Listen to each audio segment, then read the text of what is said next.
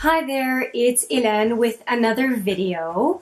Welcome back, or if it's your first time, welcome. I wanted to talk today about makeup aesthetics, and what I wanted to talk about specifically is palette design. And I'm not talking so much about the contents of the palette, which that could be a whole video in and of itself. But I have talked before on this channel about the fact that to me, the design of a palette really matters. And I've, I've talked about uh, as well, like some products, the inside of the product that I very much like, but the outside of the product, as in the packaging, I don't so much care for. And so here today, I wanted to talk about some of the brands that I own that I like the most for the packaging, the aesthetics of their packaging. Now, there are a couple of products uh, that I have recently acquired that really prompted this video. Uh, one of them I have here and another one I do not have because it is coming to me. It was part of this week's weekly wow at Sephora and that is the Park Avenue Princess Chisel Palette. That is a palette, a face palette that I have been coveting for months and it has now come on 50% off. And I knew I was not going to pay full price for it, but now that it is 50% off, I will definitely get it. The rose gold packaging is beautiful. And the contents, I mean, it's only six pans of 4.5 grams, so it's not a whole lot of product, but at $30 Canadian, it makes sense. And, and like I said, the aesthetics of the packaging are absolutely beautiful. The other product that has made me think of doing this video is part of the um, Smashbox and Vlada collection. In this case, it is the Petal Metal Highlighter. And I also have one of the Always On uh, liquid lipsticks from that same collection. So this is this is the Always On shows fingerprints, doesn't it? All this gold packaging, rose gold packaging. It's a beautiful, beautiful uh, liquid lipstick. And each one of the products has this, uh, the logo on it. And this one is the Always On Petal Metal liquid lipstick. And it is a matte metallic. And the color that I got is the In Bloom color. Now, I mentioned the packaging on the highlighter. It's the beautiful embossed highlighter and if we take a look at the inside, the actual product, the highlighter itself is absolutely beautiful with the print of the rose in it. And the compact itself, beautiful mirror, and the compact itself has the embossing as well. It is really, really well done. And I intend to use this packaging once the highlighter is all uh, done. And it, it looks like a beautiful color, and it's a color I don't have at all in my collection, so I'm happy with that. But it was it was under $30, and looking at the packaging, I realize it's one highlighter, but it is it's an absolutely luxurious package, and I love, like I said, the aesthetics of it, and I intend to use because can you see how deep the tray is? I intend to use it as a powder compact afterwards. I know I can, I will be able to repurpose it and I'm very excited about that. Uh, beautiful, beautiful packaging and I will make great use of it. And that series or that um, collection is, I think, very unusual for Smashbox. I haven't found their aesthetic to be, I found their aesthetic to be very uh, utilitarian, you know, black palettes, uh, hard uh, plastic case, just very simple and, and uh, useful protecting the product, but I haven't found the Smashbox brand to have beautiful packaging. Th this Vlada collection really blew me away. Now, there are some brands that are very consistent, and then there are some brands that, like Smashbox, had this collection that just wowed me and and that made me uh, get their products. So one company that is uh, very consistent in their aesthetic is Hourglass, and basically all of their products are very sleek and beautiful. And so this is just uh, the ambient uh, lighting powder, incandescent light, dim light, and radiant light palette. Very, very nice packaging. Very it, beautiful. I, I it make, makes makes me think a little bit about Hourglass being to make up what Apple is to computers. This, the aesthetic is clean, simple, no extra bells and whistles that don't need to be there. Very, very clean lines. Similar to Hourglass, I really enjoy some of the Becca packaging. So I have a couple of items here. One of them is, this is a mini, but this is the Becca Opal highlighter. And I think that they do a very good job of this type of packaging. I think it's very pretty, but, but very clean, simple, very similar to Hourglass. And then here is one of the liquid crystal lip, lip toppers uh, called Glow Gloss. So, you know, the rounded end is beautiful. It fits with the, the rounded theme for Becca. And then you've got the rounded end of the gloss that matches the top of the highlighters. I mean, that kind of attention to detail and consistency in the brand is beautiful, especially when a, a brand tends to keep things simple.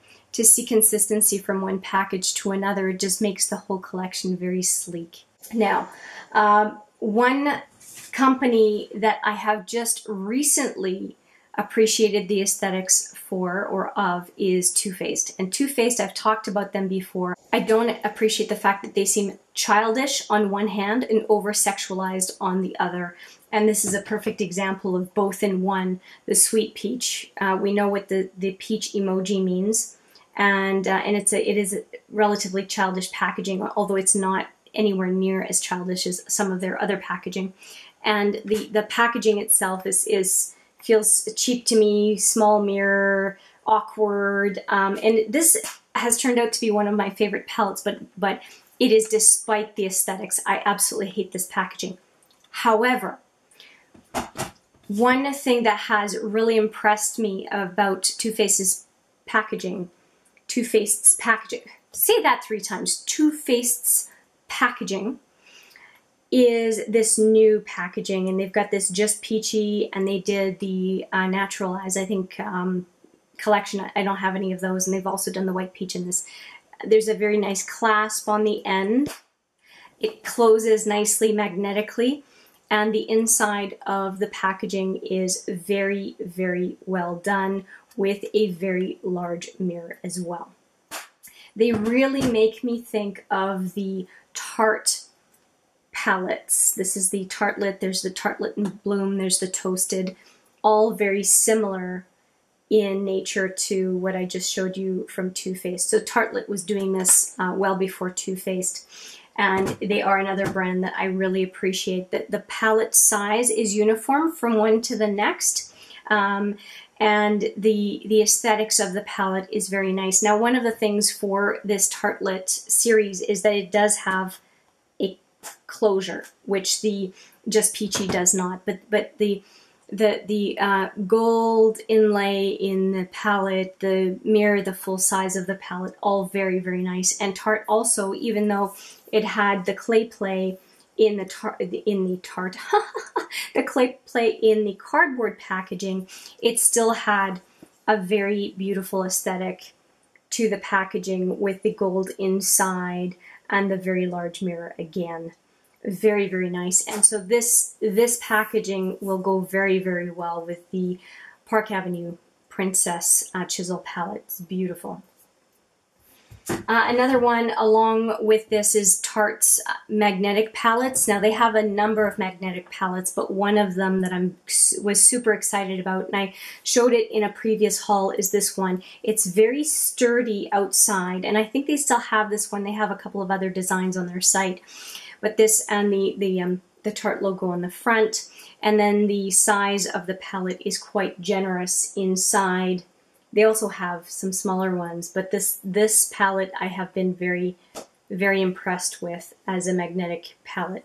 It does not have a clear cover, but I don't care. This is, this is beautiful. And for me personally, it actually matches all of the other, the three other, I guess I was going to call them makeup bags, but they're two smaller bags in a train case that I have uh, that matches this. And I'll see if I can insert a picture of those for you so you can see what I mean. But I ended up uh, picking up two of these just because of how sturdy and beautiful these are. Very, it was very, very happy with them. Now, one that really surprised me and inspired me as well from Smashbox is this um, Legendary Lipsticks line. And I got this, um, I guess it was a holiday kit, like a vault of seven of these Legendary lipsticks. And I was waiting to get some of these because I just couldn't pay $28 each. But what got me for the aesthetics here was this packaging that the vault came in. It is beautiful. Now, I don't normally show vaults for lipsticks in the background here. It's usually palettes, but you will have seen this in previous videos on a regular basis because I find this so beautiful that even though it is not a palette, it will show up in my palette display at the back just because I find the aesthetics to be extremely inspiring and uh, and helps me with my creativity. So I this packaging gets absolute kudos. I think it's beautiful. A brand that really surprised me, I think it was last year's holiday collection, is the Estée Edit. And they came up with this holiday palette collection. One side was supposed to be a face palette, although I've never used it for that. I've always used it for eyes. And then on the other side, it is supposed to be the eyeshadow palette. The colors are, are gorgeous. But what got me is the, well, I'll just show you again. I mean, look at the pan design, very innovative. The finish on the product, this limited edition product, is beautiful. The finish on each side is gorgeous. I will often put this one just like this on the shelf back here. You may see it in some videos. And then because they're complementary or sister palettes, they are magnetized. I have rarely seen something like that. The only thing that I've seen similar, and maybe I've been under a rock somewhere, is the Kat Von D and Too Faced collab, which I thought the packaging was was ugly as heck. But at least that that magnetized idea was there as well. I, I, absolutely love that packaging. I think the Estée Edit line in in general had nice packaging, and it's too bad that they just they just couldn't stick around. I also want to give an honorable uh, mention to Buxom, and it's it's it's very rare to have now this palette is beautiful not just because there's leopard print because i like the suede seduction as well as the other couple and even the the um, default palette that um, you can use at buxom to create your own palette. What i like about this palette is that for its its for what it is it is six shadows and you see the shadows on the back of the packaging which is very useful it is very well put together. I'll just get rid of the brush here for a second. But when you look at it, there is no space wasted for the shadows. You get six shadows. This one is repressed. It just it didn't come like that. And then you also have a mirror that is the same size as the palette, just like every other one that I've shown you here, except for that I pointed out in the uh, Sweet Peach palette that it has a dinky little mirror and that's not a packaging I like, so that goes. But all of the other palettes have a, uh, mirror the size of the palette, which which I think is is uh, is a must. I think it, it adds to the aesthetic a great deal. But another thing about the Buxom palette that I really appreciate is not only is it beautiful, has a proper clasp, but it also has a very simple way to change out the shadows. And I think that that is just absolute genius and it is secure. It works really well and it is a design that I have high esteem for. I just wish they would fix the brush. And I'm also going to bring in a brand that I think does it well pretty much through and through. I think Tarte does a very, very good job, but I'm going to say that at least for now, for what I have seen, Urban Decay really takes the cake when it comes to packaging. Uh, a great deal for their limited edition products, but I would say their whole Naked line also does a, a great job. So that all the Naked palettes tend to be quite beautiful. Uh, honorable mention to the Naked Heat and the Naked Smoky. I think they really hit it out of the park with those. Uh, and the Naked Ultimate Basics, they did a fantastic job with this packaging. It's it's it's definitely memorable. Um, full size mirror, of course, as I always said I like, and then the aesthetics inside with the cool and the warmer tones is done very very well. Another one that is similar to the Naked Ultimate Basics is the full spectrum. The front of the palette is beautiful with the embossed uh, Urban Decay logo and very colorful logo. And on the inside, I just took out the brush. On the inside, again, full-size mirror, beautiful. And then the shadows are organized, again, very, very well by color. Um, and the Ultimate uh, Naked, Naked Ultimate Basics very much took uh, from this palette. And, uh, and again, the aesthetics are extremely pleasing to the eye. It's just, it's so nice to have not only a utilitarian product, but they made, they took the time to make it beautiful at the same time. A few other ones, because they're all so unique, I want to show you a few other examples. The Urban uh, Decay full and uh, not sorry not full spectrum. This was the urban spectrum. This is actually a meant to be a jewelry case. Now it's not the most functional but there is the full size mirror um, in here. And you will also see that it has the hole here and it has the hole here because you are able to take this out and underneath there is a velvet bottom so that it really can become a jewelry case and I thought that that was I made it for a beautiful gift and also this is one just like the Estee Edit that I tend to put I'll put it there right now on the back shelf just for display because of the, the beautiful edging. On the same lines of being creative with the packaging at every single release, uh, the Jean-Michel Basquiat collection was beautiful. There's also a face palette that I have here. I just grabbed everything because I thought it was absolutely beautiful. And they understand how beautiful their aesthetics are. They even put a hole in the back so that you can hang it on your wall because, I mean, and has a, a canvas finish. They did such a good job. And the each one of the palettes has its own distinct view and they they followed the the direction of the palette uh, of the the um, canvas they were uh, replicating here and again the artwork even follows on the inside. The last palette from Urban Decay I want to show you is, uh, there was one holiday collection in here already, and here's another one. And it is the Heavy Metals um, packaging. Now, that it is hard to show on camera because it is very blinding. I will try to cover the mirror, but here is the palette itself.